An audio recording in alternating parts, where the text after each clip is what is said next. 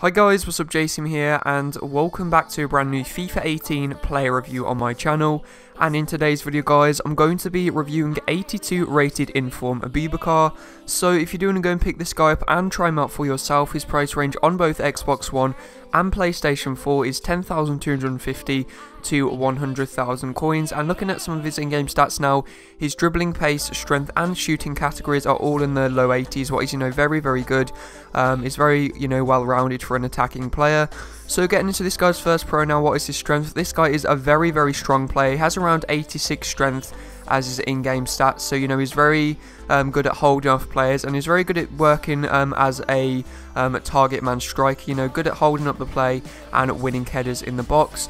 So as I've already said, um, another one of his pros, as you can see there, is his hold-up play. You know, he's really good at doing that, especially, you know, if you want to play the ball into him, um, you can get your wingers to make runs off him and then you can play the ball back to them. And then the final pro I could find with this card was his heading. Even though I think he's only 6 foot, what is pretty tall, but it's not the tallest. Um, he's still pretty good at winning headers. Um, the majority of, you know, goal kicks I played up to him, he didn't manage to win the headers and then play it onto one of my um, other players. So yeah, that's another pro I could find with the card. Now moving on into the cons, the first con I could find with his card, and this was probably the biggest con, and that's how inconsistent this guy is.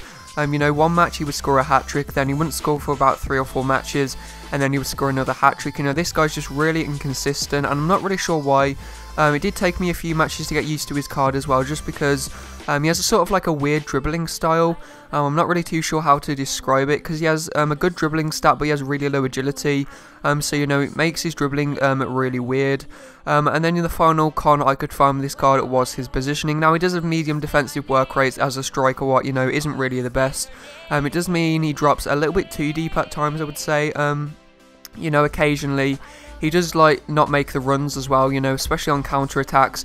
He usually seems to stay back rather than making, you know, the forward run. So that's just one thing to look out for um, when using this card. And there's the five star skill moves um, and the three star weak foot. And his weak foot seems to be pretty good for me. He scored a few goals on his weaker left foot, so I don't really think that's a con. And then overall, I think I'm going to give this card probably, I'd say, a 7.8 out of 10. Um, and I'll probably give him a 10 out of 10 for value for money, just because he goes for around 20,000 coins. And, you know, for the stats you do get on the card, that is very, very good.